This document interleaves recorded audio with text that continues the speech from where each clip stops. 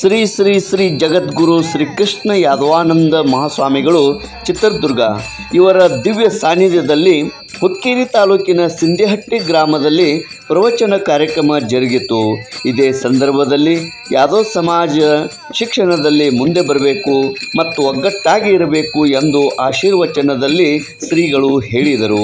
ಮುಖಂಡರಾದ ಶ್ರೀ ಬಸವರಾಜ್ ಮಟ್ಕಾರ್ ಸಾವುಕಾರ್ ಇವರು ಮಾತನಾಡಿ, ಈ ಸಮಾಜದ ಏಳಿಗೆಗಾಗಿ ಮತ್ತು ಅನೇಕ ಕಾರ್ಯಕ್ರಮಕ್ಕೆ ನಾನು ಸದಾ ಸಹಕಾರ ನೀಡುವೆ ಎಂದು ಅವರು ಹೇಳಿದರು.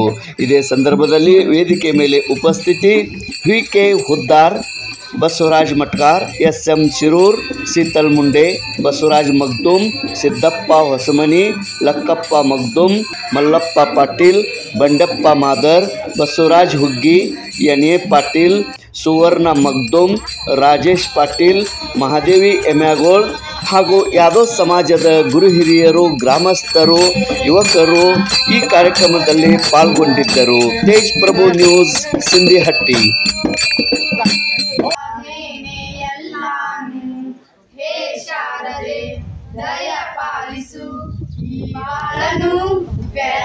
ಬೆಳಕಾಗಿಸು ಹೇ ಶಾರದೆ, ದಯ ಪಾಲಿಸು.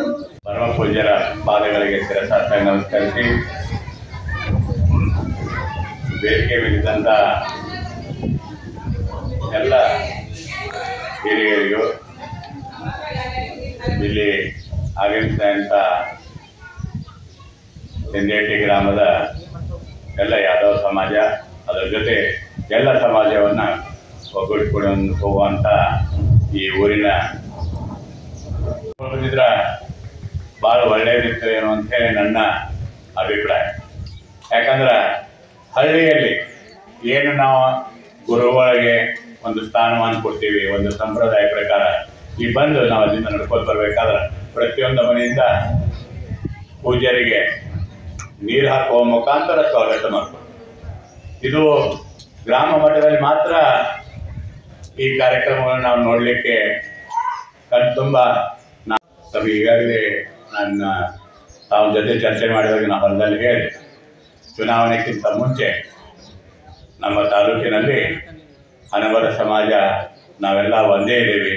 ನಾವು ನಿಮ್ಮ ಜೊತೆ ಇರ್ತೀವಿ ಅಂತೇಳಿ ಒಂದು ದೊಡ್ಡ ಕಾರ್ಯಕ್ರಮವನ್ನು ಮಾಡಿಕೊಟ್ಟು ಆವತ್ತಿನ ದಿವಸ ನಮ್ಮ ಜಿಲ್ಲೆ ಅಧ್ಯಕ್ಷರು ಸಹ ಆ ಕಾರ್ಯಕ್ರಮ ಯಶಸ್ವಿಗೊಳಿಸಲಿಕ್ಕೆ ತಮ್ಮ ಎಲ್ಲ ಸಮೂಹವನ್ನು ಕರ್ಕೊಂಡ್ಬಂದು ಸುಮಾರು ಹದಿನೈದು ಸಾವಿರದಿಂದ ಎರಡು ಸಾವಿರ ಜನದವರೆಗೆ ಅವರ ಸಮಾಜವನ್ನೆಲ್ಲ ಒಗ್ಗೂಡಿಸಿ. ಸಮಾಜವು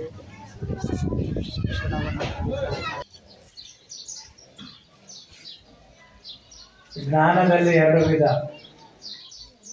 ಒಂದು ಲೌಕಿಕ ಜ್ಞಾನ ಮತ್ತೊಂದು ಆಧ್ಯಾತ್ಮಿಕ ಜ್ಞಾನ.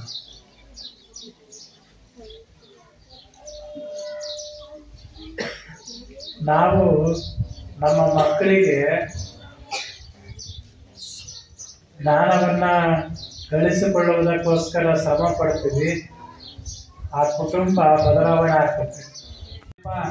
ಅಂತೇಳಿ ಭೂಮಿ ಏನಾದರೂ ನಾವು ಸಂತಸದ ಸಂತೈಸತೇನೋ ಇಲ್ಲ.